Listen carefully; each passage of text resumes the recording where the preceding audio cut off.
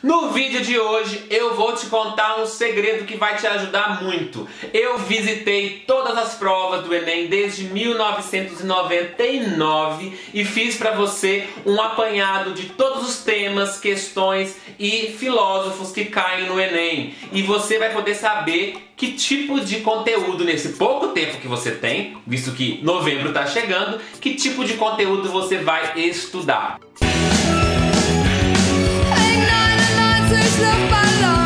Oi gente, bem-vindos ao Luft Balloon. Eu sou o Bruno Neto e você está a bordo do nosso balão de ideias. No vídeo de hoje eu vou te ajudar muito, porque eu vou te oferecer aqui um apanhado geral sobre as principais questões de filosofia do Enem. Mas antes de eu te ajudar, eu vou te pedir uma coisa curte aqui embaixo esse vídeo e se inscreva no canal se você é novo por aqui, porque eu tenho certeza que eu posso ajudar mais gente com esse conteúdo, ok?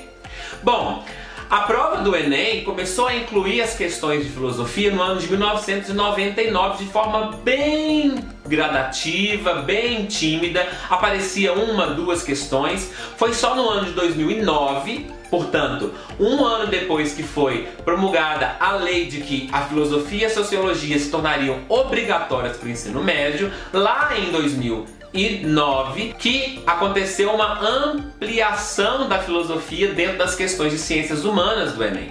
Ali então foi o momento em que a as pessoas que estudavam para o Enem perceberam que precisavam se dedicar um pouco mais à filosofia. E só em 2014 aconteceu um boom. Apareceram muitas questões de filosofia no Enem que assustaram muitas pessoas. E aí, agora sim, você tem certeza que você precisa se dedicar a essa matéria, já que ela está presente de forma tão marcante desde então. Como eu já disse aqui no vídeo passado, se você não viu o vídeo passado, ó, ele tá aqui em cima nesse card, as questões do Enem, elas são interdisciplinares, o que significa que muitas questões abrangem mais de uma área, não só filosofia, como filosofia, sociologia, sociologia história, filosofia história, geografia ou até mesmo atualidades. O que importa é que a filosofia está lá presente e nesse vídeo eu vou considerar como questões de filosofia somente aquelas que utilizam por base um conceito filosófico que cita diretamente um filósofo ou que discute um problema filosófico, mesmo que aplicado na sociologia ou na história ou até mesmo na atualidade o que significa que eu fiz um recorte nessas questões. Se você for pesquisar na internet, ou se você mesmo fizesse a análise, você poderia achar um número de questões diferentes do que eu vou apresentar aqui. Mas isso tá ligado à maneira com que você considera o que, que é uma questão de filosofia no Enem, tá ok? Nas minhas contas, se a gente for considerar desde o ano de 99 até o ano de 2017, apareceram com esses critérios 89 questões de filosofia. Nesse número eu estou considerando desde 1999 99. Mas nesse vídeo eu vou dividir em dois blocos para que a gente não misture as estações. Eu vou explicar por quê. Eu vou dividir o primeiro bloco de 99 a 2008, quando o Enem ainda não contemplava tanto a filosofia porque ela não era obrigatória no ensino médio. E depois eu vou contemplar de 2009 a 2017, quando aí sim a filosofia se tornou obrigatória no ensino médio e, portanto, mais cobrada no Enem.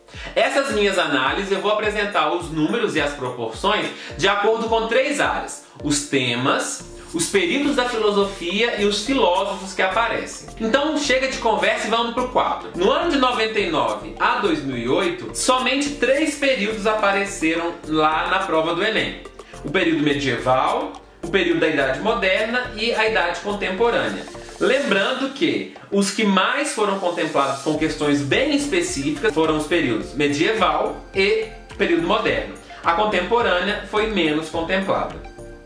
Quais temas que apareceram lá nessas primeiras provas? A política, algumas questões de cultura, diversidade, questões sociais que também eram interdisciplinares com a sociologia. E quais são os filósofos que apareceram nessas primeiras provas? John Locke, Thomas Hobbes, Michel de Montaigne, Montesquieu e Tomás de Aquino. Agora vamos falar um pouquinho sobre o que nos interessa, que é esse segundo período das provas do Enem, que está mais próximo do que vai acontecer esse ano. Então eu fiz aqui também uma divisão de acordo com os mesmos critérios: temas, filósofos e períodos da história da filosofia. Vamos então para o quadro para entender como é que isso funciona. Desde 2009 apareceram 20 questões do período moderno 15 questões do período antigo e 10 questões do período contemporâneo. E somente duas questões do período medieval. Eu sei que você está pensando aí que a soma não dá 89. Mas aqui eu estou dizendo de questões específicas do período, não são aquelas questões que comparam períodos, não são aquelas questões que é, abordam outras áreas ou questões somente conceituais que não estão nem falando de um período ou outro, tá? Por isso que não dá, esses números vão variar dentro do, do número maior do 89 ali, porque a gente está falando de critérios diferentes, tá bom? Quais são os temas que mais apareceram? 25 questões de política, 12 questões de ética, 11 questões de teoria do conhecimento, 11 questões que envolviam determinismo e da liberdade e 7 questões que envolviam o tema da democracia. E os filósofos? Vamos falar agora dos filósofos. Quais filósofos foram cobrados de forma direta, tá? Então aqui também vai ser um número menor do que 89, porque são filósofos que são cobrados de forma direta. Vamos lá? Filósofos que apareceram com 5 a 8 questões. Aristóteles, René Descartes, Maquiavel, o Habermas, e o Platão. Esses são os cinco filósofos queridinhos do Enem. É aquele filósofo que se eu dissesse para você que você tem só um dia para estudar, você estuda só então esses cinco filósofos, porque eles podem aparecer de uma maneira muito mais certa do que os outros. Em segundo lugar, de duas a quatro questões apareceram os pré-socráticos, Immanuel Kant, Sócrates, Thomas Hobbes, John Locke, Hume, Marx e Montesquieu. Então aqui são os filósofos que apareceram, mas não com tanta frequência, mas que como eles apareceram com menos frequência, pode ser que eles voltem. Então aqueles que estão no primeiro lugar, eles aparecem talvez ano sim, ano não, até um, por exemplo, Descartes quase todo ano, falhou poucas vezes. Esses agora que eu disse, eles aparecem é, de dois em dois anos, ou um ano sim, um ano não, tá? Agora eu vou dar o um nome para vocês daqueles que apareceram uma única vez, mas que são também importantes é, na prova. Tomás de Aquino, Epicuro, Simone de Beauvoir, os sofistas, Adorno, Schopenhauer, Nietzsche, Norberto Bobbio e o Sartre. Bom, agora fica aí que nós vamos para a parte mais importante, né? Não adianta ver esse tanto de número e não tirar conclusão nenhuma. Vamos ver que tipo de conclusão a gente pode tirar e que tipo de perspectiva a gente pode ter para a prova desse ano de 2018, tá? Vamos lá, primeira coisa, as áreas mais queridinhas do Enem, que com certeza vão aparecer: política, ética e teoria do conhecimento. Segunda conclusão, muitas questões envolvem a filosofia e a sociologia, os filósofos da sociologia. Terceiro, Democracia é um tema muito caro ao Enem. Ela vai aparecer, seja ligada à democracia grega, às origens da democracia grega, seja ligada aos pensamentos da democracia atual, contemporânea, seja às bases modernas da, da democracia. Então, é um tema que vai aparecer. Outra coisa, aparecem muitos temas que analisam ou que desagam os problemas contemporâneos da cultura. Indústria cultural, bioética, existencialismo, a política mesmo contemporânea, liberdade, determinismo, niilismo. Os temas contemporâneos aparecem e eles têm cada vez mais aparecido, principalmente depois do ano de 2014. Você quer ver? Olha de novo nesse quadro. Em 2014 apareceu a bioética. Em 2015 apareceu o feminismo, o existencialismo, a crise moderna da razão e a subjetividade. Em 2016 apareceu indústria cultural, o niilismo com Nietzsche, o pessimismo com Schopenhauer.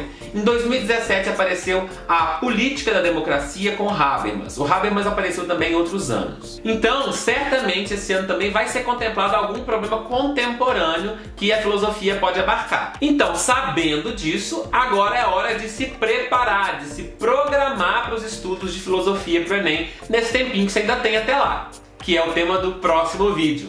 E aí, o que você achou daqui do conteúdo? Você pode compartilhar com as pessoas que vão fazer a prova da, do Enem também. Me ajuda a divulgar o vídeo, vamos chegar a mais gente. E a gente se vê no próximo vídeo com uma organização de estudos. Eu vou trazer para você uma organização de estudos com as matérias do Enem, ok?